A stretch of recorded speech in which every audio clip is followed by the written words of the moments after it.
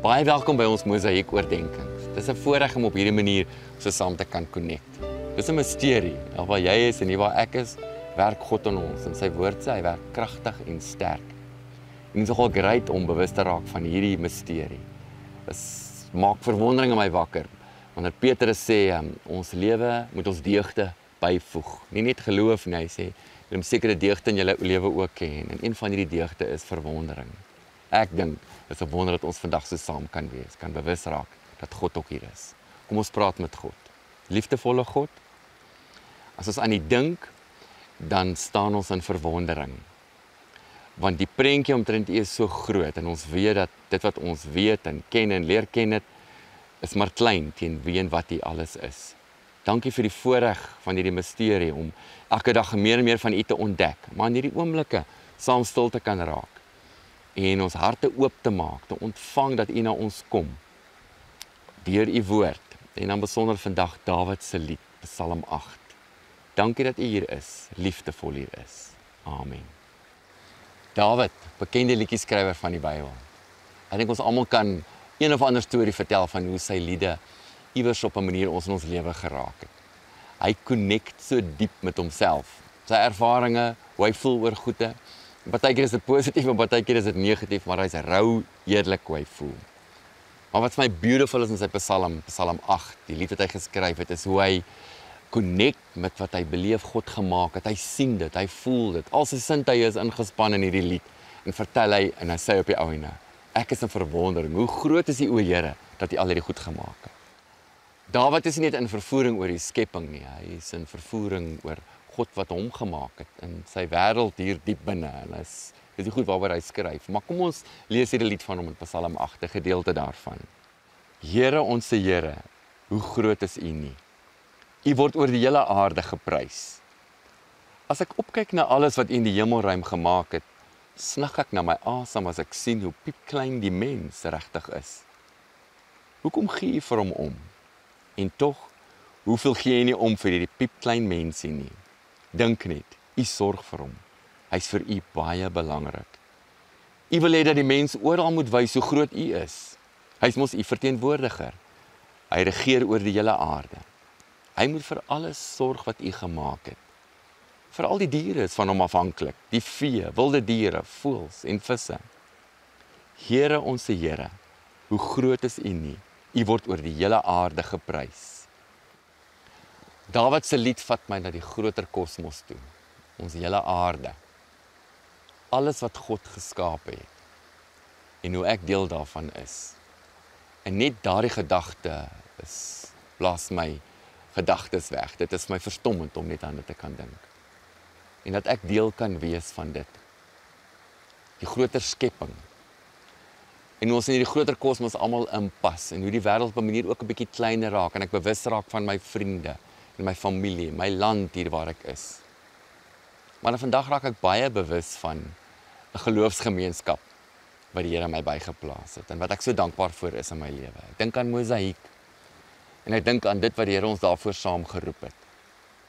Die voorreg om al 23 jaar by die gemeenskap te kan wees en deel te kan wees van dit wat ons glo die Here ons voorgeroep het om 'n geloofsgemeenskap van liefde te wees wat hoop gee vir ons wêreld.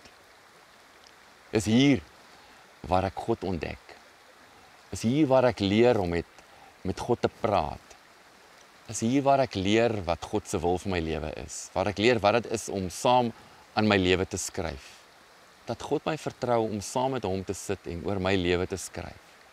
Is hier waar ek hoor dat hy vir my lief is.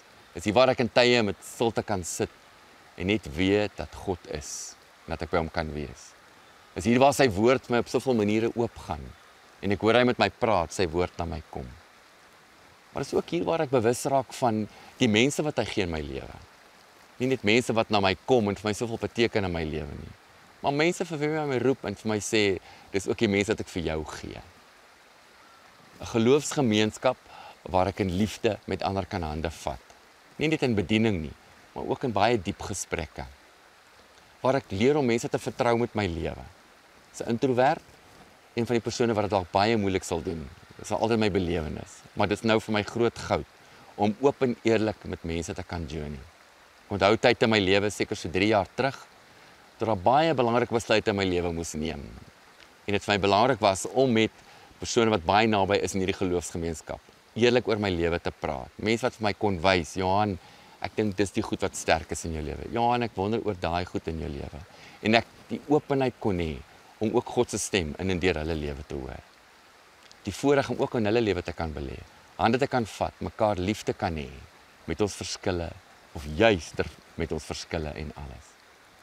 Maar ook om saam met hierdie gemeenskap bewus te raak van die taak waarvoor die Here ons roep om verteenwoordigers van hom te wees, nie net vir mekaar nie, maar vir ons wêreld, om hoop te wees vir ons wêreld.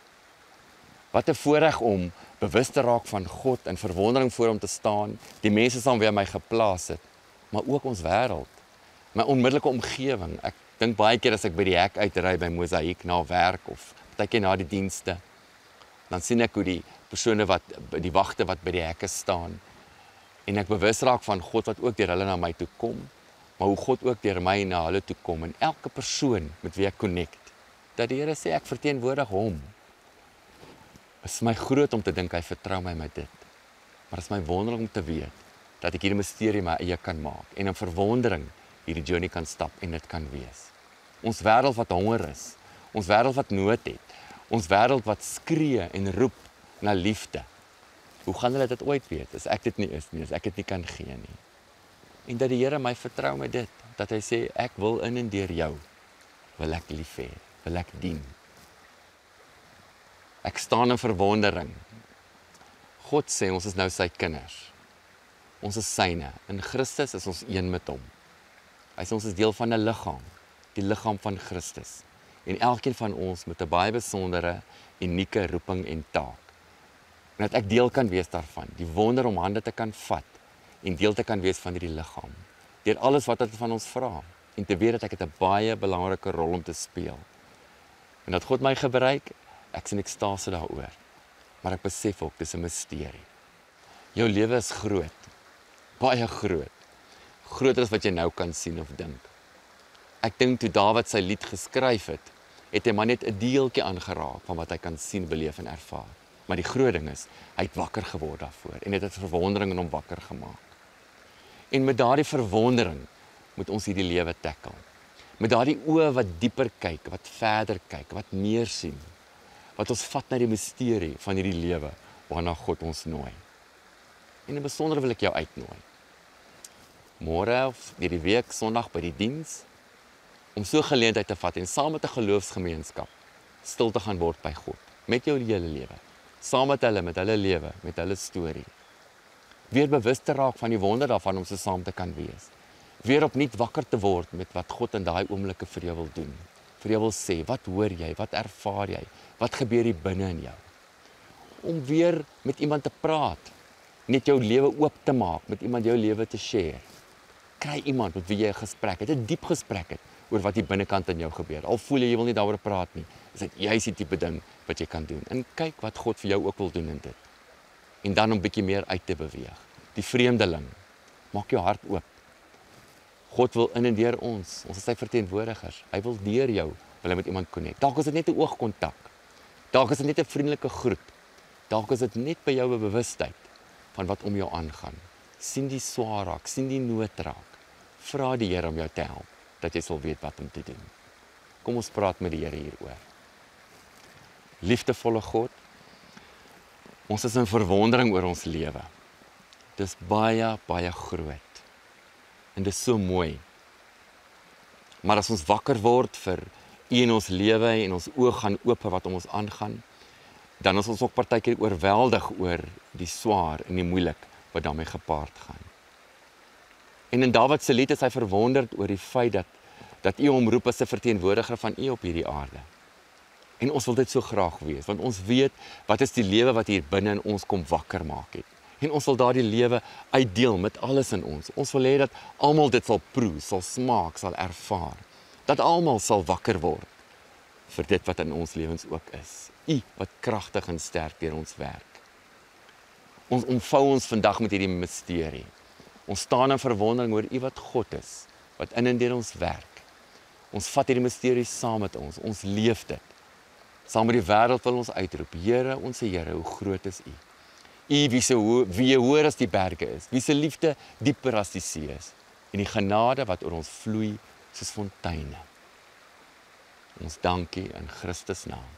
Amen.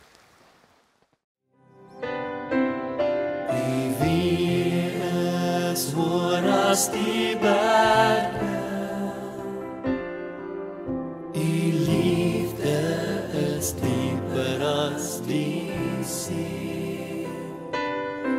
U genade vloei soos fonteine Ek wil saam met U loop en U wie Hier is heilige Here Laat U wie